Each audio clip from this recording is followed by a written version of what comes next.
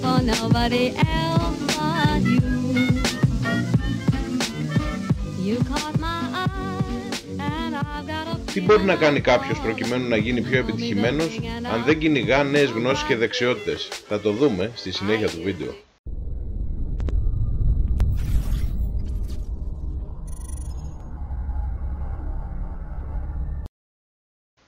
Γεια σας, Βήμαν εδώ.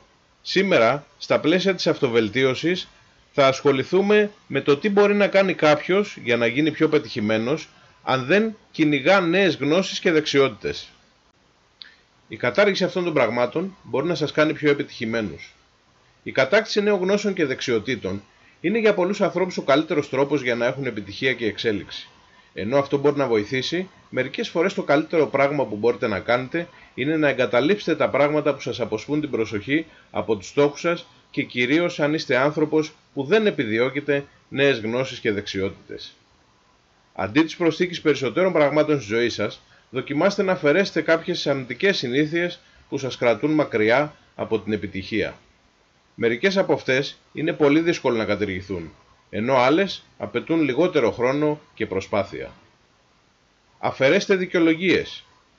Οι επιτυχημένοι άνθρωποι δεν προσπαθούν να κατηγορήσουν την οικογένειά τους, τους φίλους τους, το αφεντικό τους, τους συναδέλφους τους για τη ζωή τους. Αντί αυτού, καταλαβαίνουν ότι είναι πλήρως υπεύθυνοι για τη δική τους ζωή και κατάσταση. Η δύναμη του να αντιλαμβάνεστε πλήρως που βρίσκεστε είναι αρχή για να βελτιώσετε σημαντικά τη ζωή σας. Όταν ψάχνετε δικαιολογίες, ψεύδεστε στον εαυτό σας. Αυτό είναι κάτι που θα σας κρατήσει μακριά από την επίτευξη των στόχων σας. Σταματήστε να είστε τελειομανείς. Η τελειότητα είναι ανέφικτη. Όποτε προσπαθούμε να την επιτύχουμε είναι χάσιμο χρόνο. Αντί να ανησυχείτε για τα λάθη που έχετε κάνει ή τις φυσικές ατέλειες που σας ενοχλούν, απλά επικεντρωθείτε στην προσπάθεια να βελτιώσετε τον εαυτό σας με μικρά βήματα. Κανείς δεν είναι τέλειος, αλλά ο καθένας μπορεί να πάρει την απόφαση να γίνει καλύτερος. Διώξτε μακριά το φόβο. Πολλοί άνθρωποι υποβιβάζουν τον εαυτό τους χωρίς να το συνειδητοποιούν, τηρούν σιγή κατά τη διάρκεια των συζητήσεων όταν θέλουν να πούν κάτι, αποφεύγουν την ανάληψη ευθυνών και αρμοδιοτήτων και πάντα σκέφτονται το χειρότερο σενάριο. Αυτή η φοβερή στάση θα σας απαμοκρύνει πλήρως από την επίτευξη του μέγιστου των δυνατοτήτων σας. Η αφαίρεση του φόβου από τη ζωή σας είναι μια πράξη γενναιότητας. Γι' αυτό μιλήστε, εκφράστε δυνατά τις σκέψεις σας και κυνηγήστε ενεργά τα όνειρα και τους στόχους σας. Αφαιρέστε την ανάγκη του να ελέγχετε τα πάντα. Δεν μπορείτε να ελέγξετε τα πάντα. Αν προσπαθήσετε να το κάνετε, είναι μια μάταιη προσπάθεια.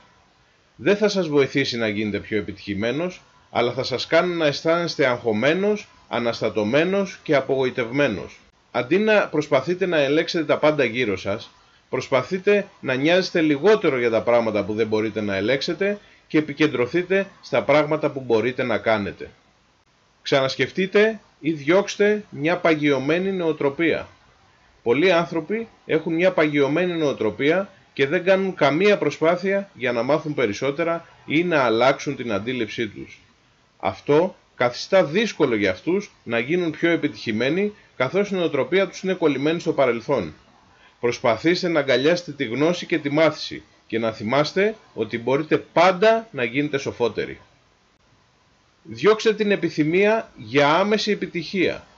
Μερικοί άνθρωποι πιστεύουν ότι η πλειοψηφία των επιτυχημένων ανθρώπων έγιναν επιτυχημένοι από τη μία μέρα στην άλλη ή ότι πέτυχαν λόγω τύχης.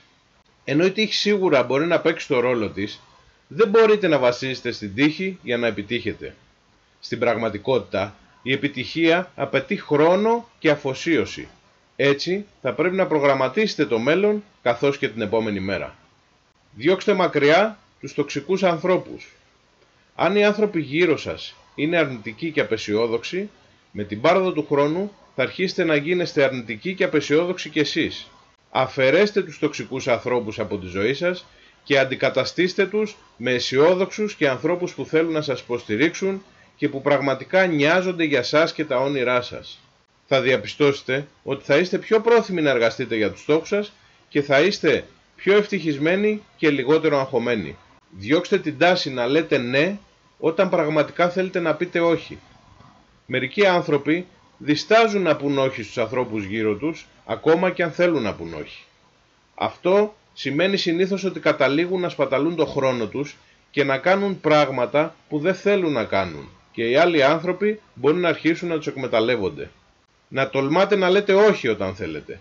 Μόνο εσείς μπορείτε να βάλετε τα όνειρά σας σε προτεραιότητα και είναι δύσκολο να το κάνετε αυτό αν είστε απασχολημένος βοηθώντας τους άλλους ανθρώπους να πετύχουν τα δικά τους όνειρα. Ευχαριστώ που μείνατε μαζί μου ως το τέλος του βίντεο. Αν δεν σας άρεσε, ξέρετε τι να κάνετε. Αν σας άρεσε, πατήστε like και εγγραφείτε στο κανάλι. Γεια σας. I'm flying high, but I've got a feeling I'm falling, falling for nobody else.